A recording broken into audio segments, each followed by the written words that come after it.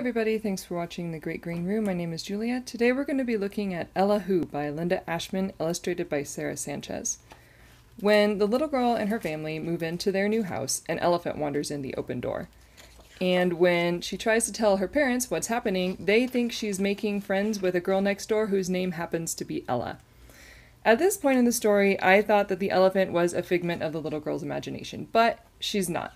She is actually an escaped elephant from the local wildlife preserve, so the little girl calls the wildlife preserve and sends her home. Uh, she's sad about this, but at, in the final joke, you find out that her oblivious family was right the whole time, and in fact, they are living right next door to the animal preserve. So she was making friends with the next door neighbor. This book is completely delightful. It's told with an economy of language that you don't find in picture books very much. A lot of times you'll read a picture book and it'll just be the story will be okay, but the, it's just too wordy. This is not that way. This is uh, very good.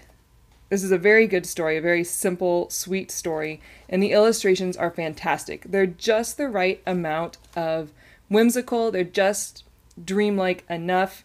I want to live in a house that is decorated like this. I love their house.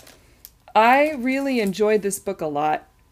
I would buy it for myself. I would be also interested in checking out Linda Ashman and Sara Sanchez's other books. Apparently, they have both written and illustrated several others, although not together.